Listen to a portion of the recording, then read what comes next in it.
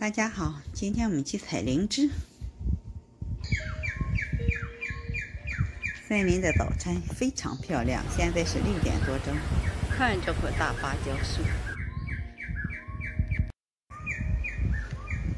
这棵树上的花开的非常漂亮。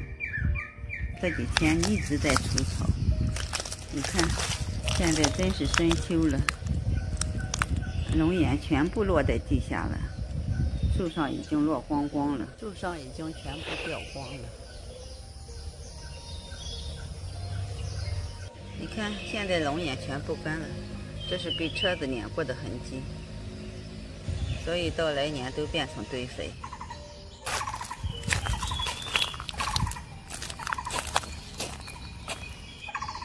完了，完了，前面都割草了，你看，全部割了。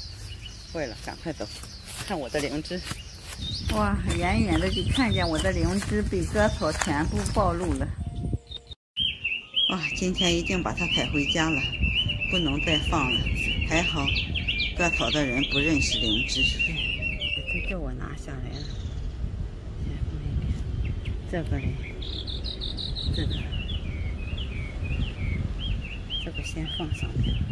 很好，没有虫咬过它。漂亮，还有这，这一片先放着。没想到在这里还有小嫩芽，让它慢慢的长吧。给它盖上些草，让它长。还好这一片比较高，没有被割草机扫到，还很漂亮。应该再放几天再采，现在没办法了。只能采下来了，反面非常漂亮。